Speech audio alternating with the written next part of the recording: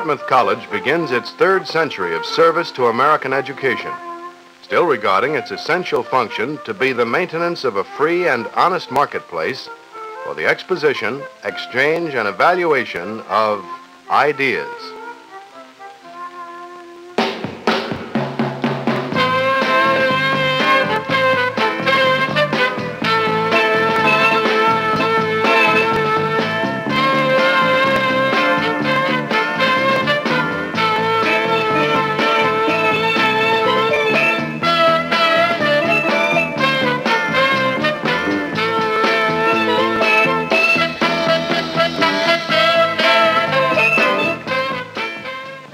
Dartmouth, we have been engaged in an experience that represents the cutting edge of a new social revolution.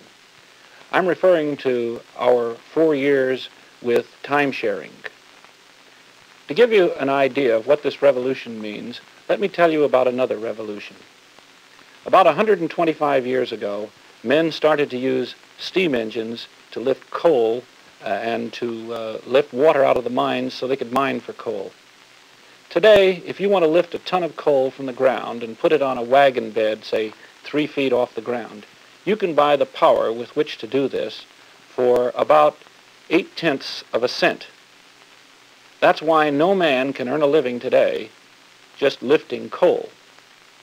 Now, in the last 25 years, we have developed a fantastic capability through digital computing, and in particular with time sharing, we make it possible for any man to do about one million logical operations for eight cents. And through time sharing, we mean any man. Today, approximately 85% of all Dartmouth undergraduates make use of the computer. Students in more than 100 courses, ranging from the sciences and mathematics through economics, education, and psychology, to languages and sociology, make direct use of the system in completing course assignments.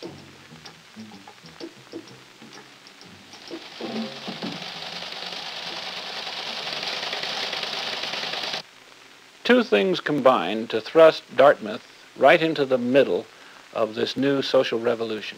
The first was our ability to use the GE computer uh, that was capable of being time shared. The other was the development of a new simplified computer language, so simple that it could be taught to grade school children in about an hour and a half and to adults in about two hours. The system now in operation at Kiewit Computation Center can be used by up to 150 people at one time. It is functioning as an education information utility, serving Dartmouth College and 36 secondary schools and colleges in the New England area. Here's how it functions. A teletypewriter terminal, any or all of the terminals, is used to send questions or programs over ordinary telephone lines to a DataNet 30. When the message is complete, the DataNet forwards it to the large-scale GE 635 computer. The answers are then sent back to the DataNet 30, which directs and controls the back and forth flow of information traffic.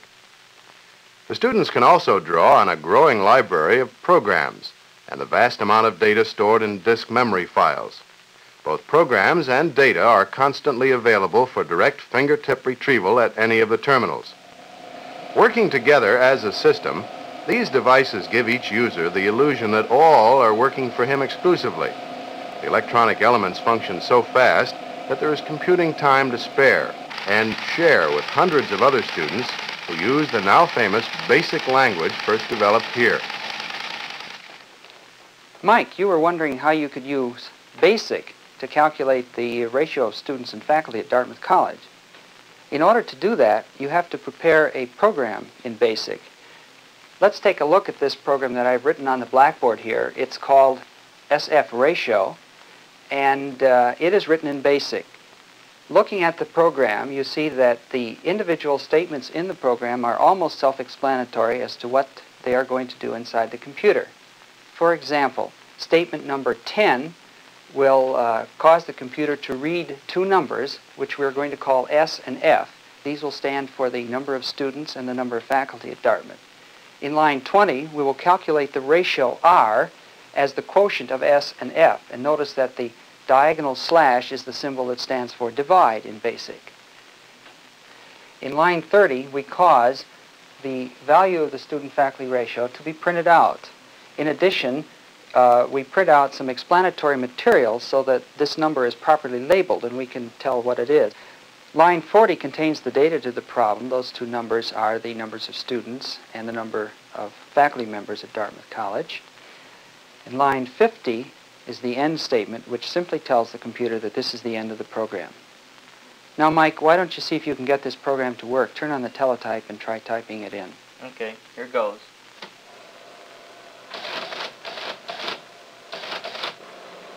Professor Kurtz, the computer has just printed out incorrect format in 20. What does this mean? It means that you have made an error in your typing. BASIC is very friendly. All you have to do to correct that mistake is to retype line 20 correctly. Why don't you try that? All right.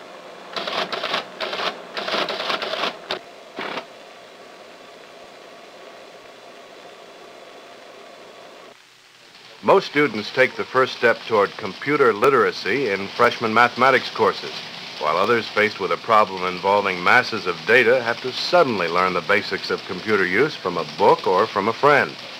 The terminals at Kiewit Computation Center and more than 70 in other campus locations are kept busy by both students and professors. What we have here is a program that our freshmen can write, ones who know no calculus at all. It shows the solution to the problem of rendezvous and docking of satellites. Two satellites are in the same circular orbit about 200 miles above the surface of the Earth, and the problem is to send a projectile from one of the satellites to the other one. You'll notice that in fact you have to send the projectile in the opposite direction in order to make it end up at the, at the target. Now this is something that the astronauts learned by trial and error, and our students solve the problem in fact right here.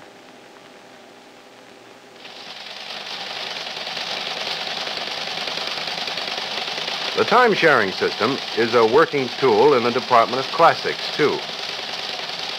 Here, tapes of the New Testament in Greek prepared in Scotland are being read into the system.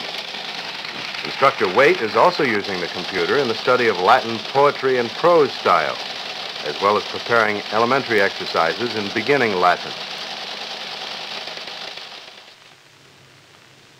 At the Dartmouth Hitchcock Medical Center, the time-sharing computer is being used to take the guesswork out of determining radiological dosage for cancer patients. An Alderson contour device determines the outline of the patient. This information is stored on paper tape along with information regarding the location of the tumor and other sensitive structures in the body. The computer does the number work, and the radiation therapist has an important new tool in the fight against cancer.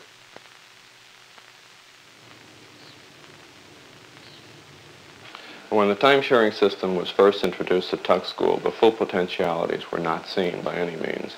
In fact, it was rather coolly received both by faculty and students. All that has changed now. The uh, student and faculty reception is a very warm one.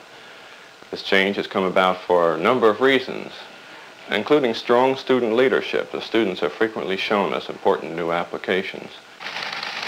Terminals at Tuck work overtime taking the brain-numbing number work out of common business problems. Simulations, production planning, inventory control, and many more. There is emphasis on financial areas such as capital budgeting and forecasting. Here's the computer solution to an investment analysis problem involving cash flows and probable rate of return, complete with a plot of present cash values compared to cost of capital accomplished in stimulating minutes instead of tedious days. Looking forward 20 years, I'm quite certain that the coming of the computer will have a significant effect on all businesses and most private lives. Whether these effects will be fully favorable, as they could be, or in part harmful, will depend on whether those who make policy decisions are aware of whether com what computers can do and what they cannot do.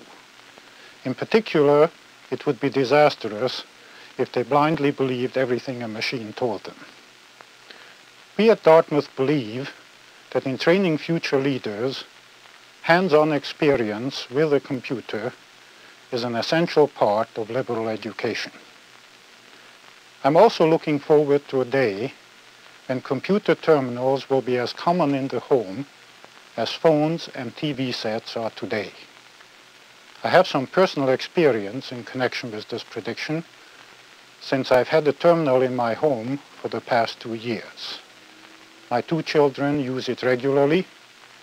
My 14-year-old daughter is quite expert on it. And my son Rob, who is 13, now also uses the computer frequently. The amazing tool of time sharing is as near as the nearest telephone. In 1964, a small New England college gave thrust and direction to a revolution that is already sweeping the world. Throughout the United States and in 18 other countries, GE alone serves more than 100,000 businessmen and scientists through time-sharing systems which have evolved from the original system pioneered at Dartmouth and similar to the one now serving secondary school and college students from Kiewit Center at Dartmouth.